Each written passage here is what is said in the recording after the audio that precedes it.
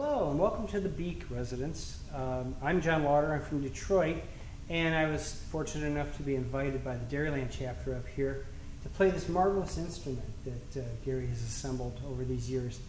And uh, we're going to have a lot of fun. We're going to do a lot of fun songs. Uh, to start with, I should tell you that uh, my hair is a product of the COVID quarantine, so it's normally a lot shorter. So uh, you'll see that flopping around as I play. Uh, to start with, let's do a great song by Irving Berlin, Let's Face the Music and Dance.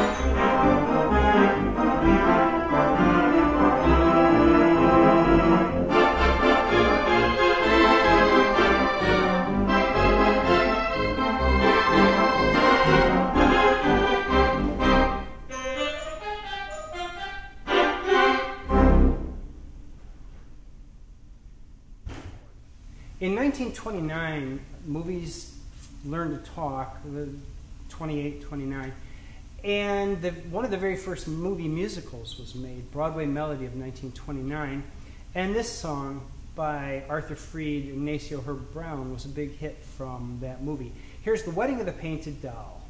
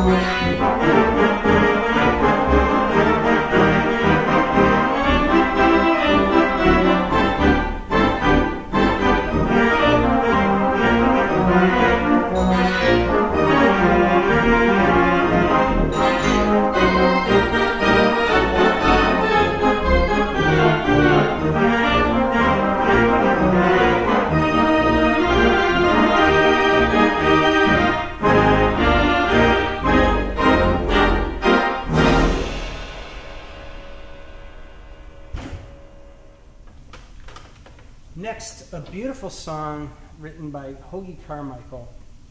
The lyrics were written by a young lady as a poem and appeared in a magazine. And Carmichael was so taken with it that he said, This has to be a song, and wrote this beautiful thing I, I'm about to play for you now.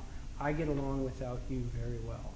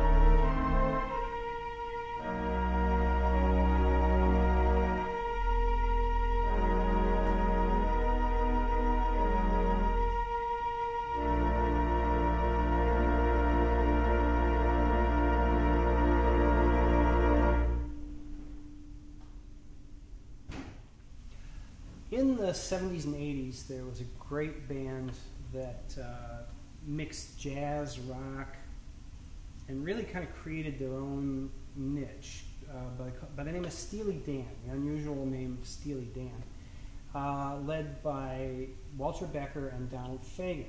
In 1982, Donald Fagen released a solo album called The Nightfly, and it was a very Steely Dan like effort. Uh, wonderful album and amazing audio quality.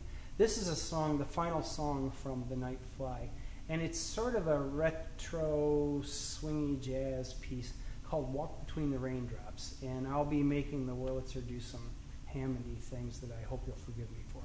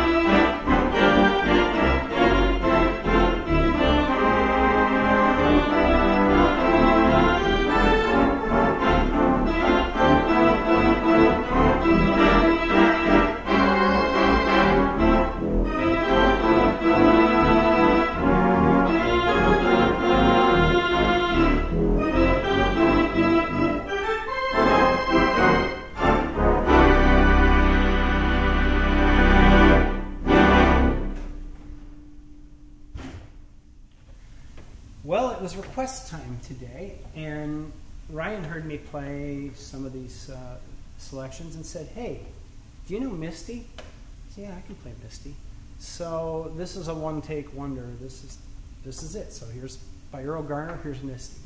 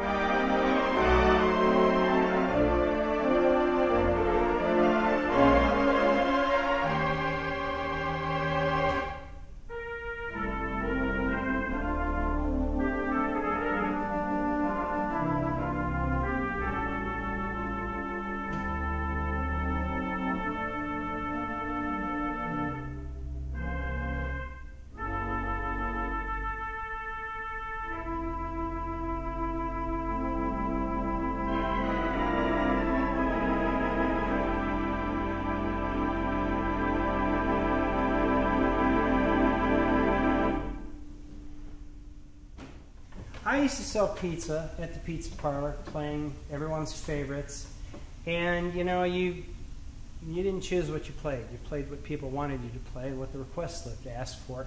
And I did most of my playing in the early 80s, uh, which was you know, kind of a forgettable era for a lot of music. But I did learn a number of songs that kind of stayed in my repertoire. Uh, I, the, at the time, the biggest song in the world was Michael Jackson's Thriller. And I got the music, and some of my colleagues said, Oh, you can't play that on the organ. And I said, Oh, watch me. So I learned it, and I played it, but like all, all other hot pop songs, it kind of had its day and then went away. In 2009, I was invited kind of at the last minute to play for the HUS convention in Cleveland at Gray's Armory. And that week before the convention started, Michael Jackson passed away. And uh, he really was a transformative figure in, in pop music. He, even if you don't like what he did, he changed the art form from what it was before to after he was there. So I told my audience that, you know, we had to, Michael passed away, what a big thing this was, and that his music probably wouldn't work well on the theater organ or would it? And I turned around and I played what you're about to hear now, Thriller.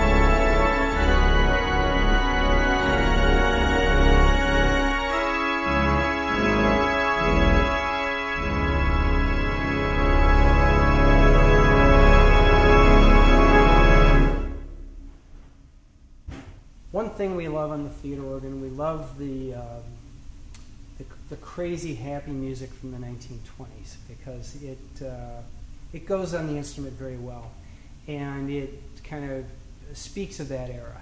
So here is, there'll be some changes made. 1922 song.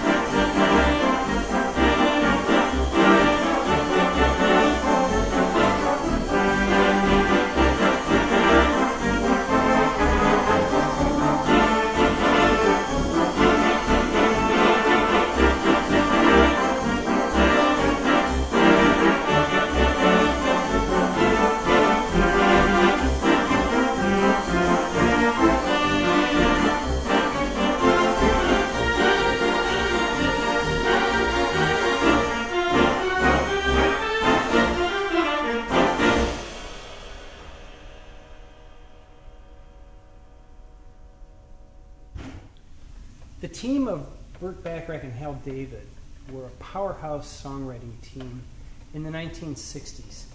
And they had been working since the 50s, but they really came into their own in the 1960s with a series of hit records, usually with Dionne Warwick singing them. And uh, Do You Know the Way to San Jose? Um, One Less Bell to Answer, all these great songs. Uh, this next song was one that they recorded with Dionne Warwick, but I heard a recording of it that really influenced me and made me want to learn the song. Uh, with Dusty Springfield, the English singer Dusty Springfield, with the orchestra led by Burt Bacharach at the piano. So here by Bacharach and David, a very, very meaningful, soulful song called "The House Is Not a Home."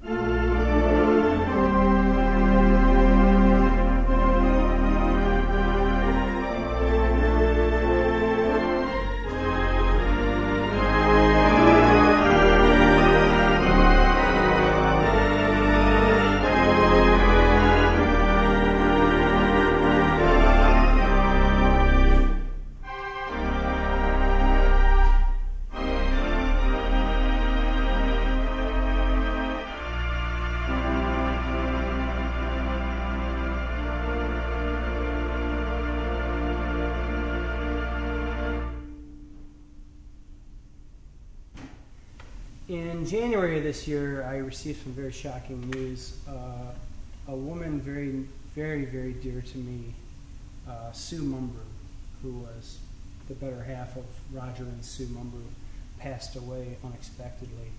And Sue was like my second mother. I was over at their house many hours uh, in my younger years, running up their electric bill quite a lot, playing their pipe organ. And Sue just always endured it and enjoyed it. This is next song is her favorite song, and I'm playing it today because of her. Uh, odd that someone, when she was 16 or 17 years old, when she first liked this song, liked Cole Porter's Love for Sale, but here it is for Sue.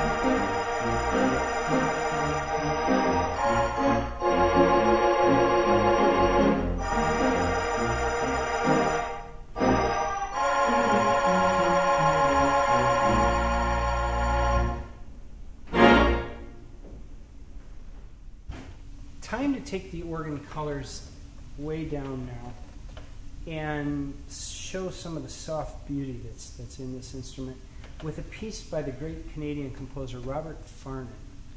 Uh, Farnon wrote several descriptive melodies to be used, I guess, as utility music, and they've kind of entered the concert stage and in, in quality listening circles as great pieces of music. And this next thing I'd like to play for you is a 1951 composition of his called How Beautiful is Night.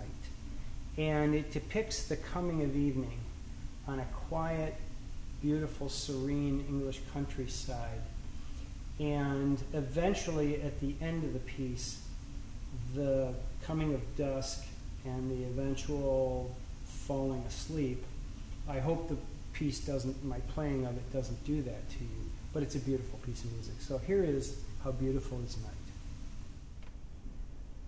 Night.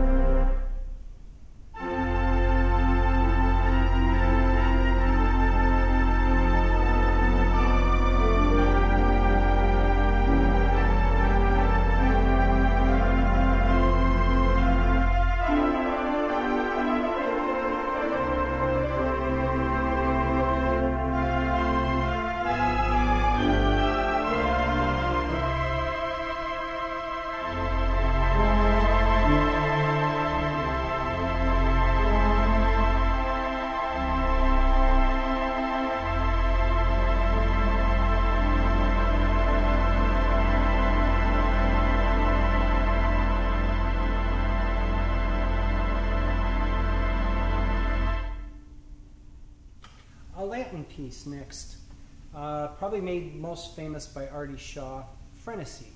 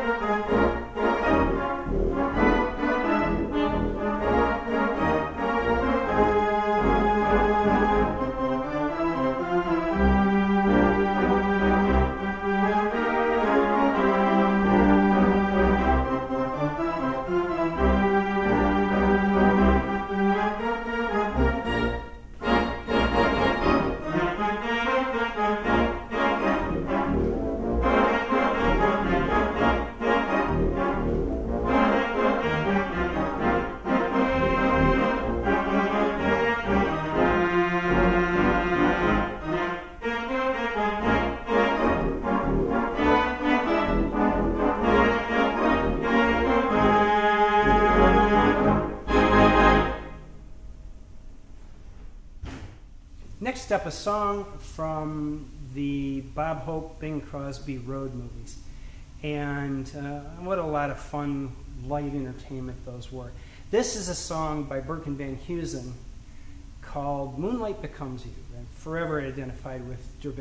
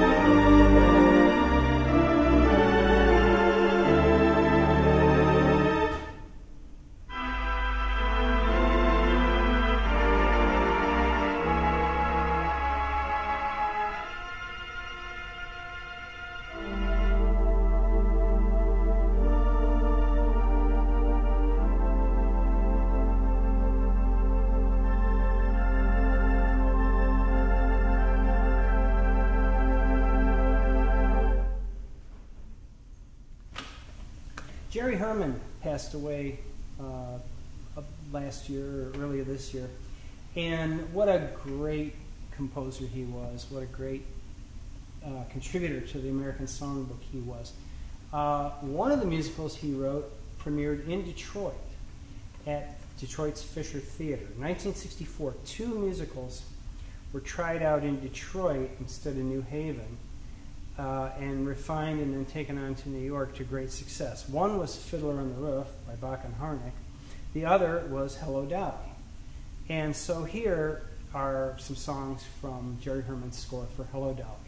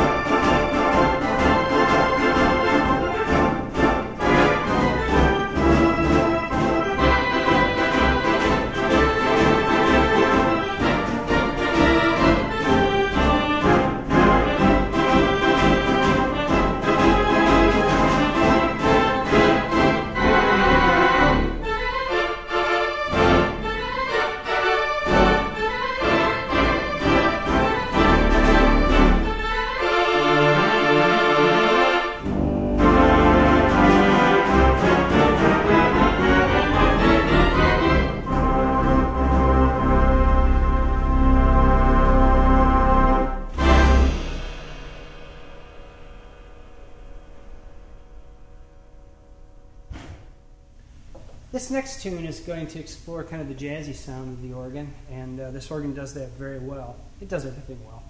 But this is a song that I was aware of through an Ashley Miller recording at Radio City Music Hall. And I played around with it, but I never really played it until I met the young lady that became my wife.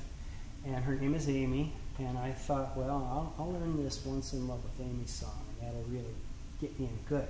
So I learned the song, and we were at a party or something, and I sat at the piano and I started playing Once in Love with Amy.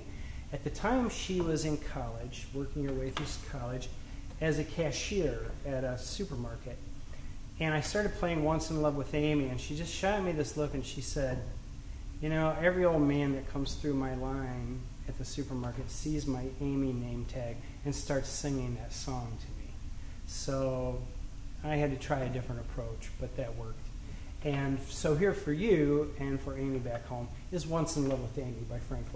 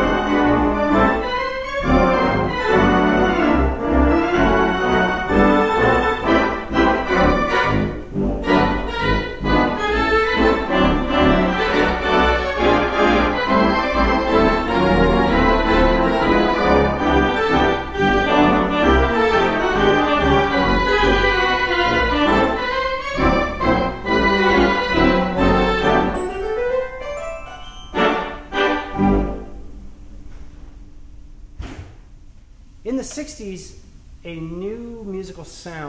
our shores from Brazil, the Bossa Nova. And chief among its architects was Antonio Carlos Jobim, an incredible composer with a long line of works, both kind of popular and semi serious.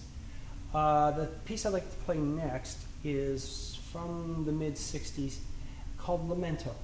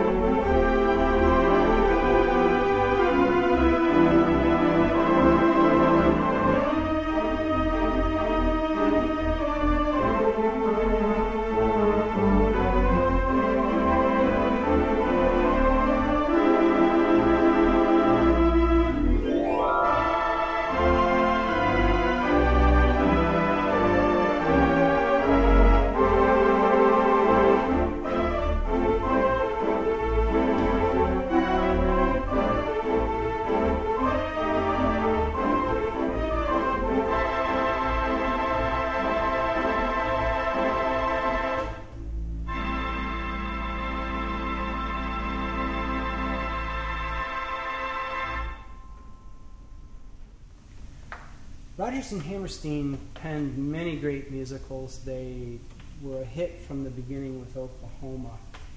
In their score for The King and I, there were several wonderful songs. This next song is, is one that is normally done in a oh, kind of a walking to feel or a tempo.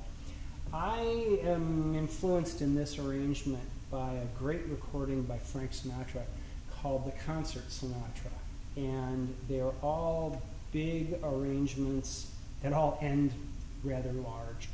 Uh, with a 73 piece orchestra arranged and conducted by Nelson Riddle. And this arrangement I'm going to do now is based largely on what they did. Here from The King and I, I Have Dreamed.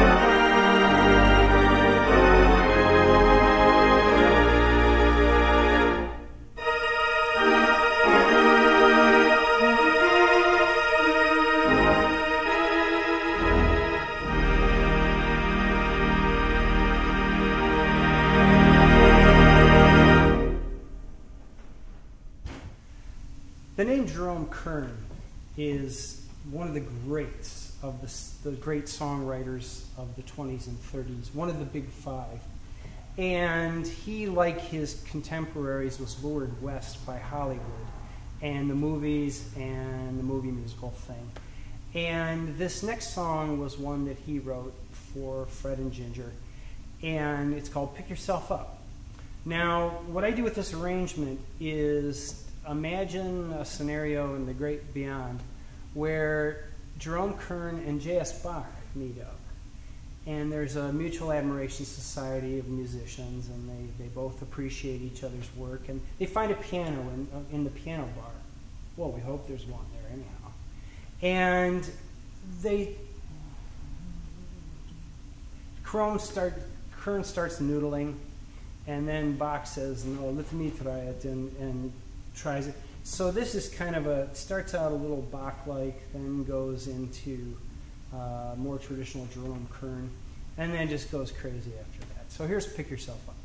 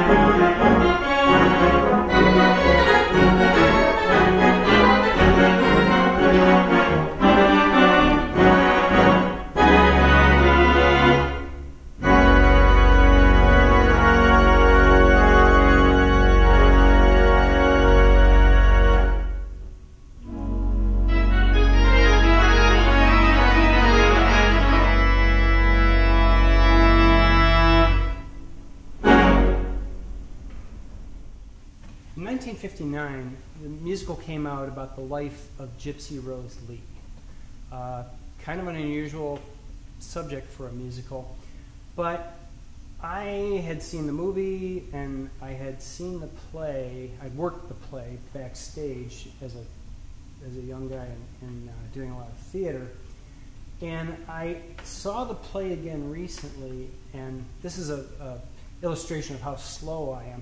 I didn't realize the play's not about Gypsy. The play's about Mama Rose, and Mama Rose's influence and her power, and at times her lack of power. Uh, this next song is Mama Rose's mission statement. Uh, people in musicals sometimes early on have what they call an I want song, where they sing a song that tells you what their situation is, what they want, what they need, what, what the problem is to be solved. And in this song, uh, Mama Rose tells us that she is in charge and she's taking no prisoners. The song's called Some People. Well, that's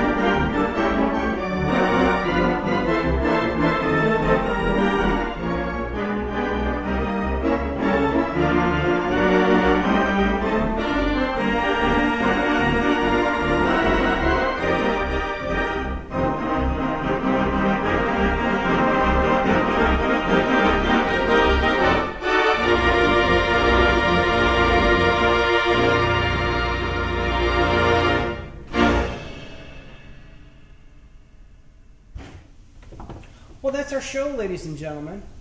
Thank you for watching, and I hope we get to meet again after this uh, virus leaves us alone. And I hope we get to do this in person. Uh, I loved playing the instrument here. I loved being a guest to the Beaks. They made this all very easy for me. And uh, as any artist knows, it's uh, that's a big factor. Great instrument, and I hope to see the Dairyland chapter again. Thank you.